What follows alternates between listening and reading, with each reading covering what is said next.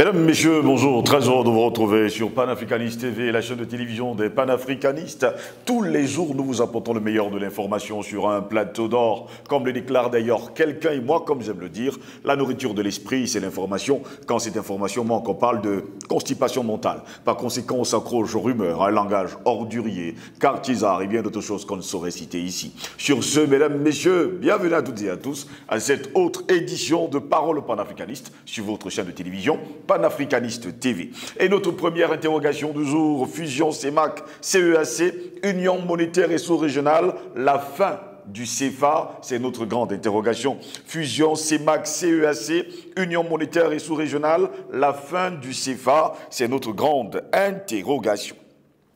Eh bien, mesdames, messieurs, la fusion entre la communauté économique des États de l'Afrique centrale, en abrégé CEEAC, et la communauté économique et monétaire de l'Afrique centrale, la CEMAC, est une option qui vise à faire sauter les verrous qui plombent le sentiment communautaire, qui ruinent les économies locales et font de l'Afrique centrale le centre mou de l'intégration africaine.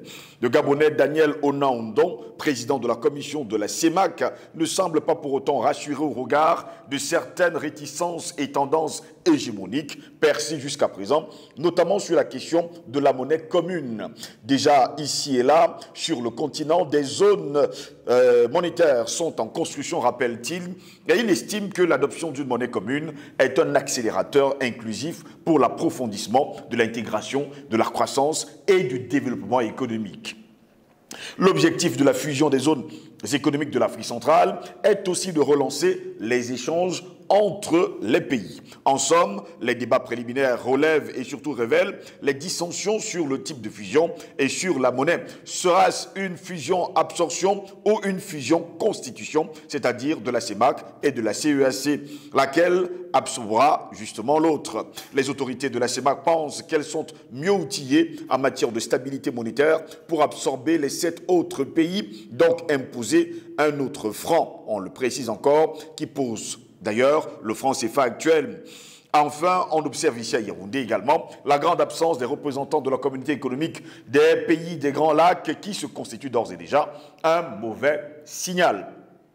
Mais on le sait également, mesdames, messieurs, les échanges commerciaux dans les zones, les 11 États d'Afrique centrale, sont plombés par l'absence d'un réseau aérien direct entre la plupart des pays de cette grande région. Parfois, l'avion quittant Douala pour Kinshasa ou pour Kigali passe d'abord par Nairobi ou Addis Abeba, Lomé ou Cotonou. L'Afrique centrale est aussi segmentée par l'usage de six monnaies différentes non convertibles entre elles, ce qui fait déjà problème. Et voilà pourquoi ces États pensent à une monnaie commune. Eh bien, en tout cas, une autre assise est prévue pour le mois d'octobre prochain.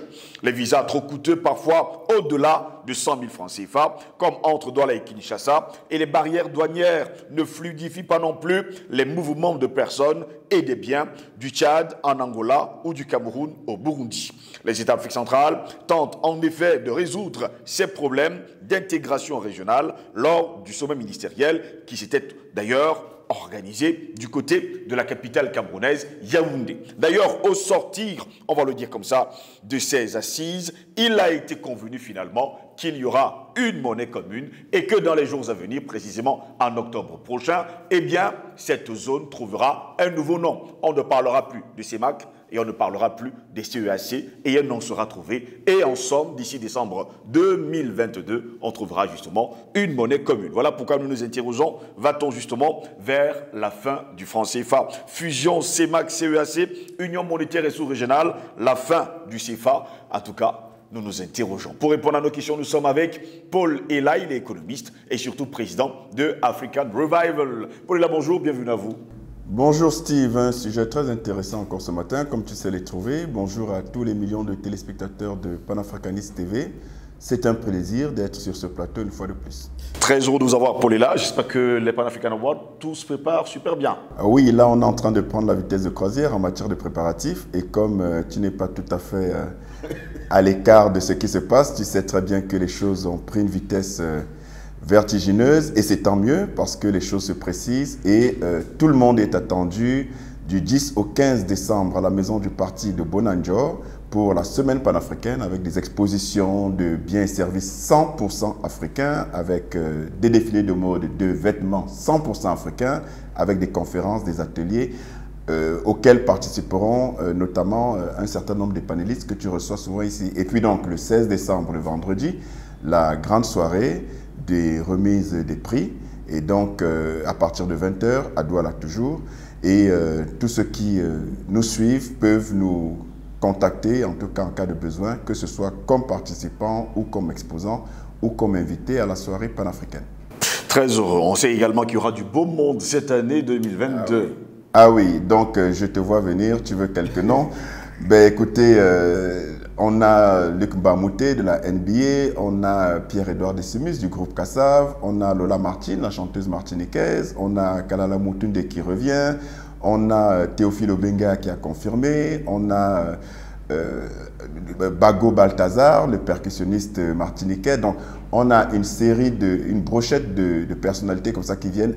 Et, comme tu le sais, toi tu le sais, mais je le rappelle à nos téléspectateurs, l'objectif c'est vraiment de fédérer toutes les bonnes volontés pour justement rendre à l'Afrique ses lettres de noblesse et célébrer l'Afrique et ses dignes représentants. Une bonne brochette de personnalités arrive et des surprises restent à venir. Des surprises restent justement à venir. Si vous n'avez pas entendu votre nom, c'est parce que la liste est tellement exhaustive que nous ne sommes pas là pour ça ce matin. Mais on sait également que vous avez confirmé votre arrivée en décembre prochain au Cameroun, précisément dans la capitale économique, Douala. Mais le sujet qui nous intéresse, fusion CEMAC, CEAC, Union monétaire et sous-régionale, la fin du CFA, en tout cas, nous nous interrogeons. Paul est là depuis quelques semaines déjà. Eh bien, il y a eu des tractations autour de cette question. On parle de la fusion CEMAC-CEAC. Et lors de la conclusion des assises qui sont déroulées du côté de Yaoundé, la capitale camerounaise, il a été justement conclu que dans les jours à venir, on ne parlera plus de CEMAC ni de CEAC, mais on trouvera un autre nom. Et justement, d'ici décembre 2022, on trouvera également une monnaie commune. Bonne nouvelle Excellente nouvelle. Excellente nouvelle. En tout cas, euh, ce n'est pas, ça ne saurait être un seul effet d'annonce, un seul, un, seul coup de pub. Ça, c'est impossible. Tout simplement parce que c'est ce sont les plus hautes autorités des pays concernés qui euh, sont engagées. Et donc, euh, on a envie de dire, et on, on, se doit même de dire et même de constater que les aspirations du peuple commencent à faire leur effet. Parce que vous savez très bien ma posture personnelle par rapport au franc CFA en tant qu'analyste euh, financier et économiste, mais vous connaissez également les aspirations des peuples africains avertis, éveillés au niveau des consciences, qui savent et qui ont compris la profondeur du mal que leur cause le franc CFA depuis au moins 1945, ça veut dire près d'un siècle. Le franc CFA, c'est la cause, j'aime à le dire, je le soutiens, je le maintiens, en déplaise à certains économistes aux intelligences dociles. Le franc CFA est une monnaie nazie qui est la source de tous les malheurs de l'Afrique. Je n'ai pas dit de quelques-uns, de tous les malheurs. Parce que l'instrument par excellence de souveraineté d'un État, c'est sa monnaie. C'est tout aussi simple que ça. Et même à un niveau individuel, pour ceux qui ont encore des, des, des, supputations ou qui hésitent encore à se rendre à l'évidence selon laquelle le franc CFA est un instrument d'asservissement des peuples africains et donc la cause de tous ces malheurs, ils n'ont qu'à prendre un exemple à titre personnel, au niveau individuel. Si j'ai votre argent, Steve, mais je vous, c'est moi qui vous commande. Si c'est si moi qui peux vous dire à quel moment je vous donne euh, votre argent, et en partie, de façon partielle, et, à quel, et, et, et, et pourquoi, c'est-à-dire que vous devez justifier à chaque fois. Donc en fait, si je vous tiens par votre bourse, mais je vous tiens pour tout. Donc vous allez m'obéir au doigt et à l'œil, et en réalité, je deviens votre maître. C'est exactement ça. Mais là, c'est pire encore parce qu'il s'agit non pas d'un État, mais de plusieurs États, 14 ou 15 États, qui sont soumis justement à ce diktat monétaire et donc économique de la puissance colonisatrice française. Ce n'est juste pas possible. Et l'annonce, justement, la rencontre des chefs d'État euh, euh, de la CEAC pour justement décider de, de, cette fusion-là entre CEAC et CEMAC est une excellente nouvelle dans la mesure où vous savez très bien que les, les, communautés économiques régionales, lorsqu'elles font fusion, il faut des critères de convergence qui sont transversales, qui sont transversaux, ces critères-là, à, tous les, à tous les pays. Ça veut donc dire en clair, comme ils l'ont annoncé, une, cour, une cour de justice globale, ça veut dire une monnaie globale, et ça veut dire un parlement global. Mais je vous rappelle quand même que la, la, CEMAC, c'est environ 60 millions d'âmes, donc en termes de population, sur une superficie d'environ 3 millions de kilomètres carrés. Regardez en termes de marché ce que ça constitue d'un point de vue de la réduction des opportunités et du potentiel.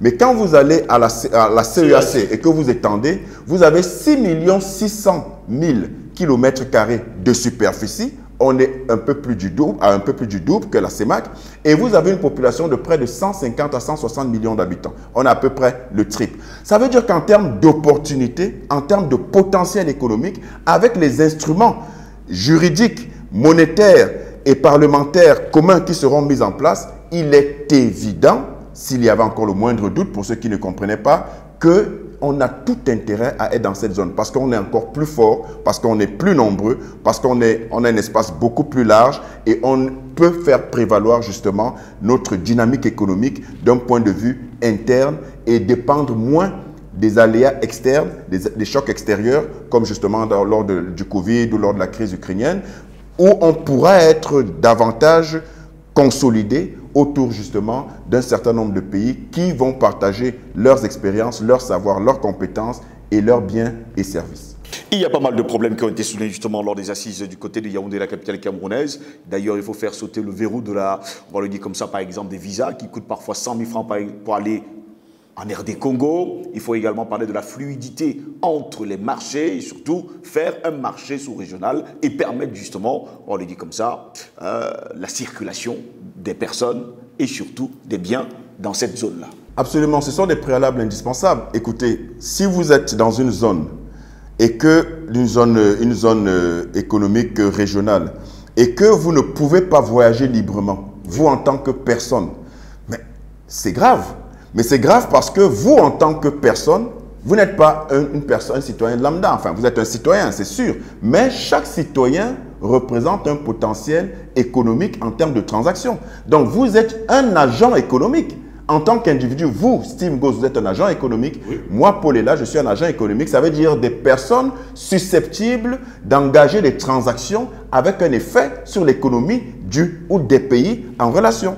Et donc, si vous ne pouvez pas vous déplacer librement quand vous voulez, comme vous voulez, pour justement engager des opérations économiques, mais il est évident que ça a un impact négatif sur les transactions commerciales et économiques et donc sur la santé économique du pays ou de la, des, pays de la zone. Donc, il est indispensable, c'est d'ailleurs un impératif, que les barrières de visa tombent et qu'il y ait véritablement libre circulation des biens et des personnes parce que aussi bien que les personnes, comme je viens de l'indiquer tout à l'heure, si les biens ont des barrières tarifaires et douanières extrêmement élevées, mais c'est clair que ça freine les échanges entre les pays. Donc, il faut revoir tout ça, remettre tout cela à plat, permettre aux individus de la zone, quand elle sera élargie euh, avec la fusion de la CAC et de la CEMAC, de circuler librement parce que ça crée une certaine dynamique économique et ça rend donc les États ensemble plus forts et permettre évidemment également que les biens puissent circuler librement. En tout cas, avec le moins de barrières tarifaires et douanières possibles. Je vous rappelle quand même qu'il faut toujours savoir d'où on part. Moi, j'aime bien toujours savoir d'où on part parce que ça permet de se projeter, de comprendre où est la source de nos problèmes. Alors, je vous rappelle que en 1884-1885, la fameuse conférence de Berlin, l'objectif était justement de diviser l'Afrique, ce qui s'est fait, tel un gâteau qu'on se partage entre prédateurs. Et l'objectif de diviser l'Afrique, c'est quoi? Mais c'est justement de vous rendre faible et de pouvoir on connaît tous le dicton, diviser pour mieux régner. C'est principalement ça leur objectif, mais ce n'est pas fini. Mais regardez ce qui se passe au Mali. Quand on veut, euh, avec l'Azawa, on dit qu'on va diviser le nord du Mali. L'objectif, c'est toujours de diviser. Regardez ce qui s'est passé au, Soudan. Maintenant, il y a le Sud-Soudan, il y a le Nord-Soudan. Partout où il y a, regardez ce qui est en train de se passer en RDC, où euh, certains prédateurs impérialistes occidentaux prône et préconise de façon malveillante la scission du, Kivu. Mais parce qu'ils savent que le Kivu, à lui seul, correspond à à 3, 4, 5 fois les richesses de l'Europe à elle seule. Donc, il faut diviser pour mieux se servir et il est donc de bon ton, quand les consciences sont éveillées, après qu'on nous ait floués pendant longtemps, qu'on se rende compte que réparer la situation de nos pays, économique, social et politique, c'est de se remettre ensemble, même si on ne forme pas encore un seul pays, mais c'est par étapes. Qu'on soit au moins dans des zones euh, d'économie régionale qui permettent qu'on soit beaucoup plus fort. Jusqu'à preuve de contraire, on a noté quand même l'absence des pays des grands lacs qui n'ont pas justement été là. C'est le premier hic dans cette histoire. Est-ce qu'on peut penser réellement que dans les jours à venir, on peut réellement parler de fusion? Alors, il y aura toujours des velléités à la dissension, toujours. Hein. Je pense que, en réalité, rien ne se fait facilement sur un, par un claquement de doigts. Ça, j'en suis certain. Il y aura des difficultés, mais je suis convaincu qu'ils finiront par retrouver raison et qu'ils vont rejoindre le projet parce que il, est il y va de l'intérêt de tout le monde. Ce n'est pas une histoire où certains vont en profiter, d'autres pas. Regardez par exemple le Cameroun, le Congo, la Guinée équatoriale le Gabon aussi, Sao Tomé et Principe, vous vous rendez compte qu'on a au moins dans ce projet de fusion 4 à 5 pays qui font partie du Golfe de Guinée. Et c'est quoi le Golfe de Guinée? C'est l'une des régions les plus riches de tout l'univers, de toute la planète. Alors, ces pays-là qui sont enclavés, qui n'ont pas de littoral, comme le Burundi, comme le Rwanda, euh, euh, euh, comme la RDC, je pense aussi, vous vous rendez compte que avoir, se mettre ensemble euh, avec d'autres pays, se mettre avec d'autres pays qui justement ont un potentiel que eux n'ont pas et vice versa parce que eux aussi ont un potentiel que nous n'avons pas ainsi de suite. Par exemple, la forêt, la forêt du, Congo, c'est après la forêt de l'Amazonie, c'est la forêt la plus riche en tout point, à tout point de vue euh, au monde. Donc, il y a un potentiel à ce qu'il y a un intérêt à ce qu'on mette nos potentiels ensemble. Donc je pense qu'ils finiront par entendre raison et je pense aussi qu'il y a toujours, évidemment, il y a toujours des, des, des relents de, de soumis au colonialisme, au diktat impérialiste occidental qui justement sont de mèche avec euh, nos prédateurs parce qu'ils ne pensent qu'à leur intérêt personnel et donc qui vont être des, des, des, des comment dire, des boulets en fait, qui vont être des, sources de rétention à cette évolution-là. Mais je pense qu'ils ne vont pas durer, ils ne vont pas mettre dans le feu. Ces gens-là ne vont pas tenir long, longtemps, en tout cas en termes d'empêchement de, la réalisation de ce projet. Il n'y a pas déjà eu une très grande mobilité dans la zone CEMAC on sait pertinemment qu'il y a pas mal de pays en zone CIMAC, je parle précisément de la Guinée équatoriale, qui n'a pas compris justement le principe de l'intégration sous-régionale. Est-ce que cette même Guinée équatoriale ne pourrait pas être justement un frein à cette fusion dans les jours à venir entre la CIMAC et justement la CESC Oui, euh, vous dites bien frein. Un frein, moi les freins ne me font pas peur. C'est les arrêts définitifs qui me font peur. Donc ce projet pourra connaître des freins du fait justement des égaux des différents pays, parce qu'il y a ça aussi. Euh, la Guinée équatoriale, malheureusement, a des relents de, de, de. Et euh, ça, ça s'explique en partie, sans le justifier, par le fait qu'ils ont connu leur boom pétrolier euh, dans les années 90 et que, voilà, on s'est pris un peu la grosse tête, on va dire, et le plaisir de se dire, bon, on a été euh, humilié, on a été euh, à, la risée de tous pendant un moment. Maintenant, on a du pétrole. Bon, c'est une façon aussi de de, de, de, de, rejaillir, en tout cas en termes de fierté. Mais je pense que c'est éphémère. Je veux dire, ces égaux personnels et ces, ces, ces, fiertés euh, mal placées des différents pays qui veulent rester dans un système d'ostarcie, je pense que ça, ne pourra pas mettre long feu. Parce qu'il y a des dynamiques, euh, mon cher Steve, il y a des dynamiques que l'histoire même pousse et que personne ne, peut empêcher. Ceux qui se mettront euh, à contre-courant de cette dynamique-là, ben c'est eux qui seront balayés.